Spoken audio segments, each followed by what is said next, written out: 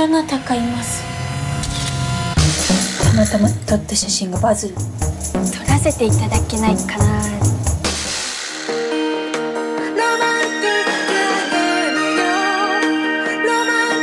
化粧を落とした素顔だけは絶対に見ないでくださいね。怖いんだけど。雨森さんは私の前にちゃんといるんです。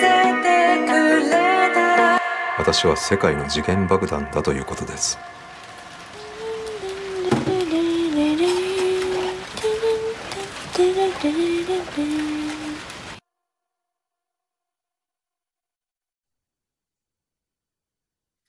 はい。本日の高橋宏樹のシネマ館配信も、えー素晴らしい映画監督とお話しさせていただきたいと思います。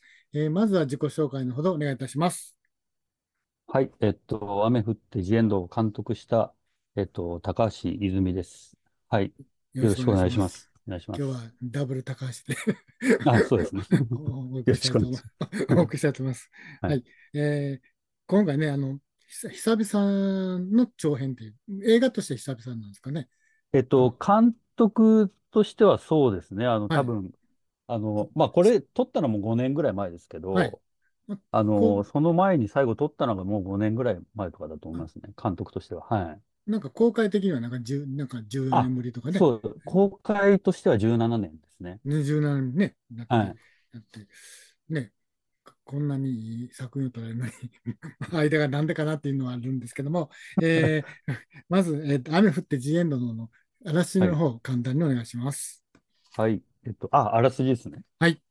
はい。あの、まあ、あの、なん、なん、なんにもないというか、普通の女の子、あの、が、えっと、ある、えっと、雨宿りの先で、あの、秘密を抱えたピエロと出会うっていう、まあ、はいその秘密はもう本当に、あの、劇場ではい。見てもらいたいっていう、まあ、一応ラブコメなんですけど、はい。えっと、っていう感じですかね、あらすじとしては。もうなんか言えないことばっかりでした。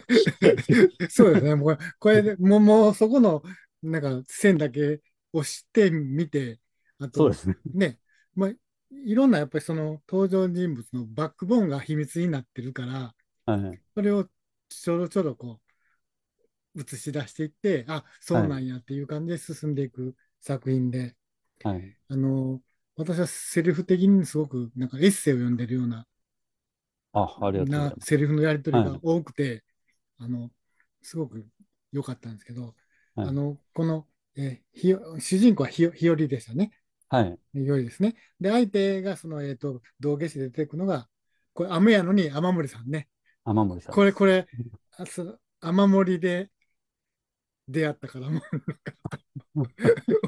思いながらしたんですけど、それはあんまり関係ないですか？でもやっぱり、あ、でも、あの、うんまあまあまあ、あの、日和が、まあ、うん日、あの、日差し、はい太陽と、あと雨っていうイはいメージは最初にありましたけど、はい。だからこう、対になってるっていう感じですね。そうですね。はい。だから、これだからまあ、正反対っていう意味でもないですよね。うん、かとは思いますね。うん。だから、やっぱり火とそれは表裏一体で関係があるっていう、うん。ね、意味合いのかなっていう感じなんですけどね。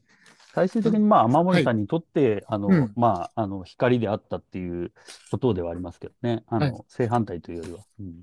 うんだから、自分にないなんか魅力うん。の人間に出会ったっていう、はい。ね、展開の話でしたね。はい。はい。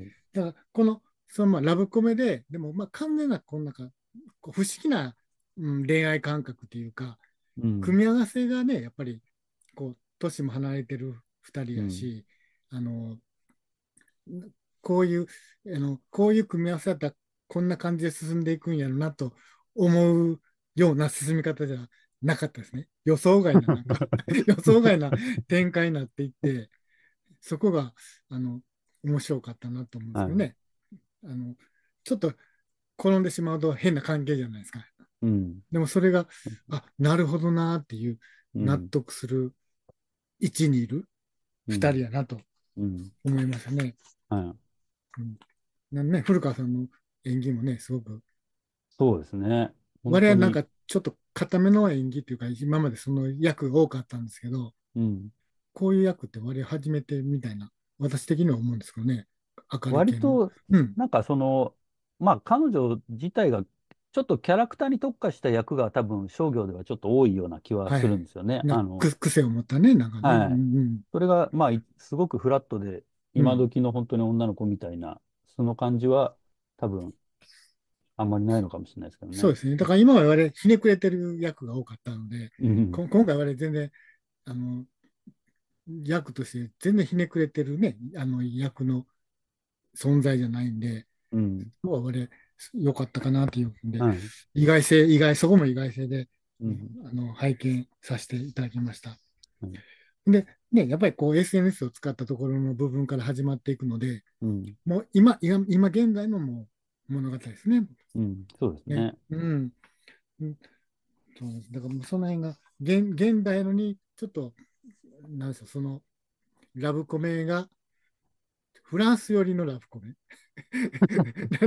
アメリカ、なんか、フフランス風の、なんか、そうい、ちょっと洋画を見てるようなね、気分にもなって、画面的にはこう、邦画なんですけどね、なんか雰囲気は、なんか洋画、洋画、うん、フランスよの、なんか漂うような感じで拝見させてもらったんですけど、なんかセリフのやりとりとかがあれなんですかね。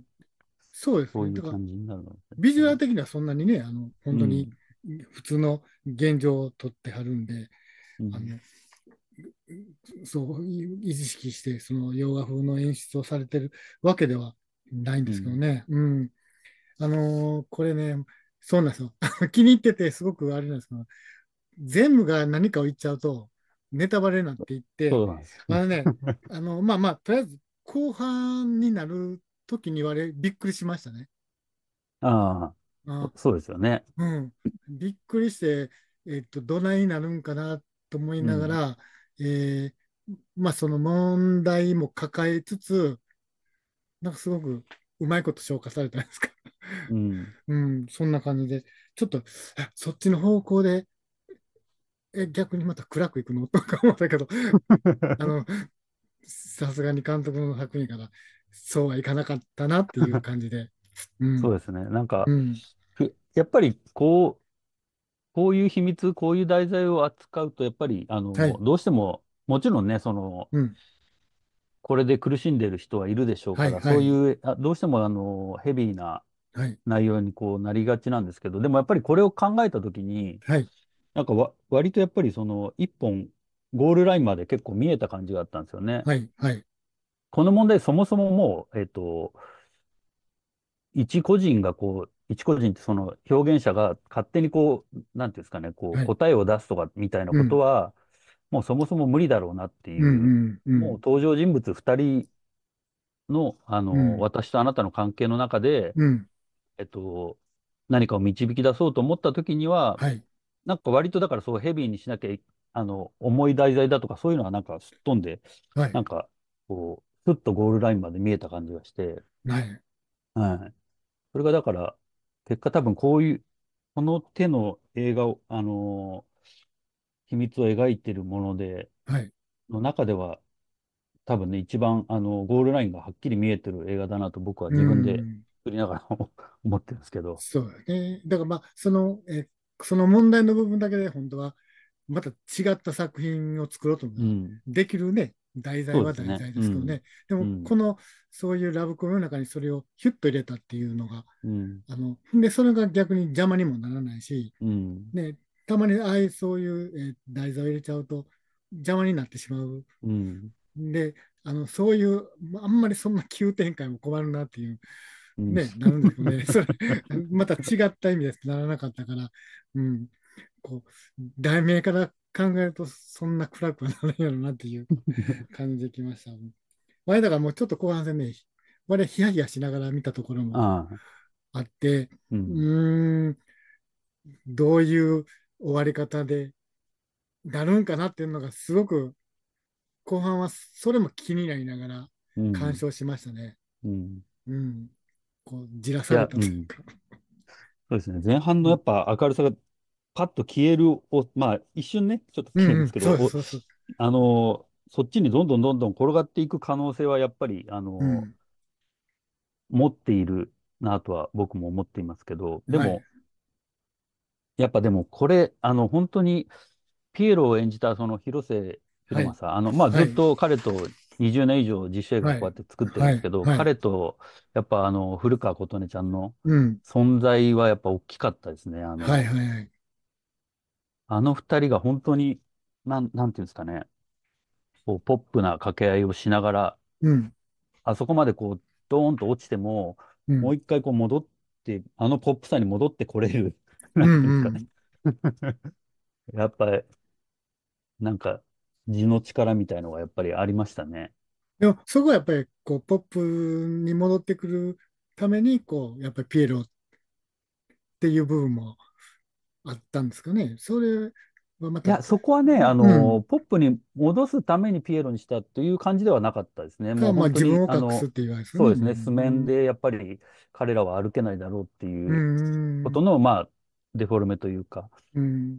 うん、だからそれが、あ、結局問題と結びつければ、そのピエロでいる状況がわかるんね。初めはだから、なんで、ね。違う意味のその、あの、だからこういうピエロになってるんだっていうのはありましたけど、うんよくよく考えると、やっぱりそのピエロにならざるを得ないっていうのは、自分自身の気持ちの中のうん、表現でもあったんですよねう。ん、そうですね。うんだとこれ、だから意外ですね。これね、ちょ、ちょっとずつこうビジュアル軽いんであれですけど、いろいろ話が進んでいくうちに、いろいろうん、全てに意味があるんやなっていう。ね。ね今、監督の話させてもらって、あ、そうや、そうや、そう取ると、あの、いろんなことに意味があるんやなって今思いました。うん。ね、これね、あの、私の感想の最後には、えっとですね、もう、そして最後に雨降って、点々点で終わってるんです、感想が。そこはもう、いやもう、この題名にやられましたね。うん、最後、最後はこの題名か、題名にたどり着くんやと思って。うん。で、まあ言ってしまうとあれやから言いませんけど、もう、もうこの題名がすごいベストっていうか、はい。うん、あっぱれっていう気になりました、最後は。最後は。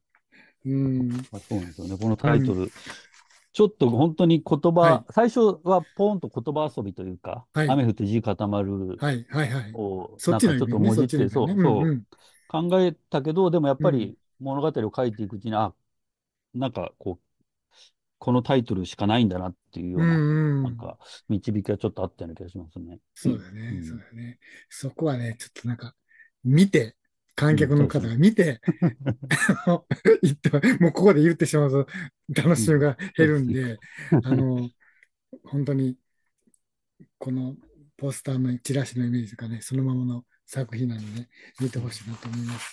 あの、本当これはもうみみ見てほしいなっていうだけのなんか紹介しかできなくて、一個一個なんかありを描いてましたので、これ以上言うともう、やっぱりあの見ててこうびっくりした部分が多いんで、はい。ね、そもうそれで止めないと、うん皆さんにやっぱり見ていただく方に、ちょっとびっくりしてほしいなっていうん。う ところがそうですね。あはい。りますね。あのですで、やっぱりあの、えっと、広瀬さんは、こう、で劇団とかもやってはったんですかね。あの方の劇団出身えっと、いや、でも言っても、その、若い頃に、えっはい。と、小中学校を回るような、あの、はい。なんていうんですか、演劇？はい。あの、あるじゃないですか、小中学校、はいはい。旅公演みたいな。はいはい。あれをやった後に、はい。多分1、一年、2年ぐらい、あの、うん。演あの、ちゃんと、その、ちょっとアなんとアート寄りな人の演出の舞台には出てましたけど、うんでもそんなに多分本にえ演劇という感覚はないと思うんですけどね。うん、でもこの役がぴったりでしたよね、もうね。そうですね。あの、苦労されたかどうかは分かりません。なんか、うんでも、あれ、あ、もともとややってはったんかなっていう感じのね。ピエロ、サーカスで勤めてはったんかなっていう感じで、あの、あっさり、あの、しごくご自然やって、うんああと思いましたけどね。まあ、声がよ、声もね、すごく良くて、そうなんですよね。声はみんな言いますね。うん。で、またあのね、ここの違う作品でまた監督とお話しさせていただくんですけども、うんもうその作品でも出ておられて、また全然役が違うかって、はい。逆にこの、えー日本セットで我々あの同時で公開されますけど、あのね、広瀬さんの違いっていうのも我々はい。見てほしいですしね、いろんな方のあの、あの、そうなんですよね。あの上司もね、上司もはい、そうです。違うから、はいその辺はい、見てほしいですよね。みそうですね。はい一緒に。はい。はい。非常に、だからこれ、ちょっと、えーこの映画も楽しめで、えーもう一本ご紹介する映画とセットで見ていただくと倍楽しめるという、はい。いろんな楽しみができるはい作品なんで、ぜひともはい劇場の皆さん足運んでいただきたいと思います。えーはいすみません、最後になりますけど、えーこの作品に関してのメッセージよろしくお願いします。はい。あの、まあ、あの、この天森さんの秘密に対して別に僕ら答えを出そうとか、はいえっと、これを、こう、世の中に問問いかけようとか、そういうことではなくて、はい。本当にもう、あなたと私っていう関係性の中でもし、こういう秘密を持っていた人がいたら、はい。あなたなら、あの、どうしますかみたいな、はい。あの、映画なので、あの、あの、本当に、あの、そういう、えっと、そういうことなんです。はい。なので、はい、あの、フィクションとして楽しんでいただければと思います。はい。はい。ぜひともね、皆さん、あの、スクリーンに向かって笑顔になると思いますので、ぜひとも見ていただきたいと思います。は。はいいえー本日は短い時間ですけども、どうもありがとうございました。ありがとうございました。